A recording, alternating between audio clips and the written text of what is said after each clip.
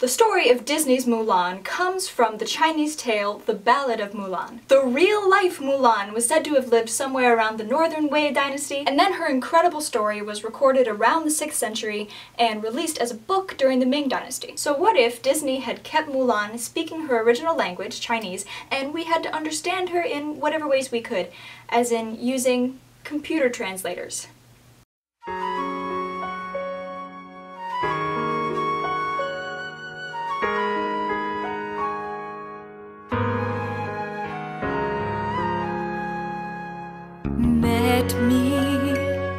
It has never advertised by the live bridal or girls flawless, really.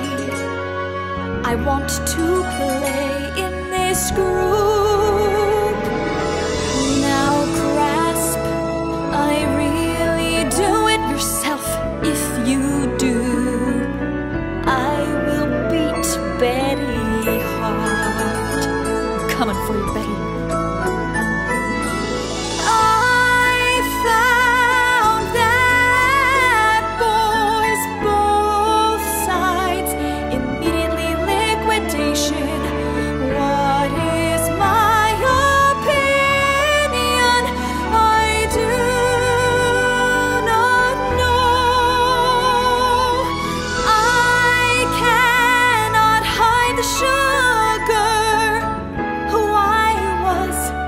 But I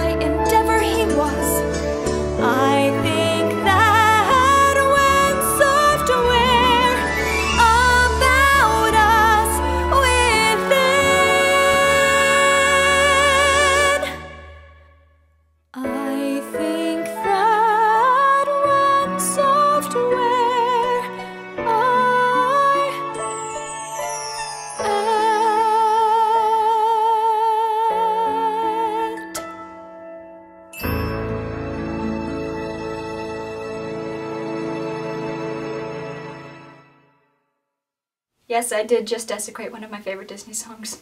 I'm sorry. Hello everyone, my name is Malinda Kathleen Reese and thank you so much for watching this video. If you liked it, then be sure to subscribe to my channel. I'm trying to put out new videos every week. Also, let me know in the comment section below what you want me to do next. If you would like to help me with one of my poorly translated videos, I'm doing a new community translate this month and it is Hellfire from The Hunchback of Notre Dame.